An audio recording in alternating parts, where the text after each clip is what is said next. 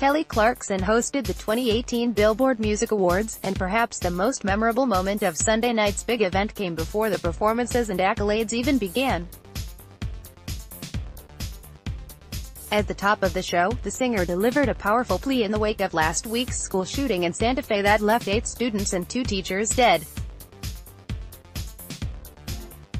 FilmMagic Kelly Clarkson kicked off the 2018 Billboard Music Awards with a powerful plea Sunday. This is gonna be so hard, Clarkson said. There's something I'd like to say about the tragedy Friday at Santa Fe High School. Dot dot dot. I'm a Texas girl, and my home state has had so much heartbreak over this past year.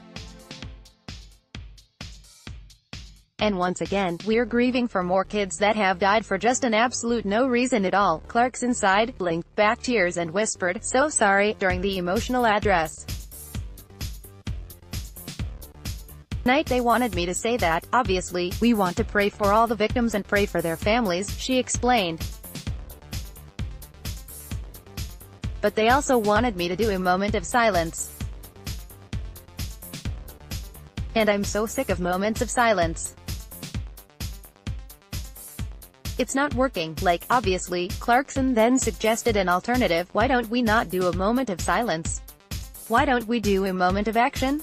Why don't we do a moment of change? Why don't we change what's happening, because it's horrible? The audience applauded her suggestion, as Clarkson continued. Mamas and daddies should be able to send their kids to school, to church, to movie theaters, to clubs, she said.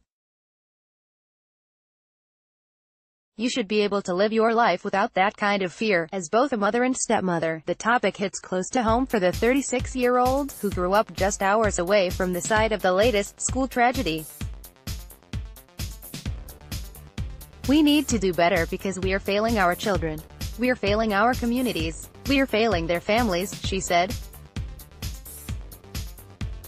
I have four children. I cannot imagine getting that phone call or that knock on the door. So, instead of a moment of silence, I want to respect the victims, and honor them. Tonight, Yaol, in your community, where you live, let's have a moment of action. Let's have a moment of change.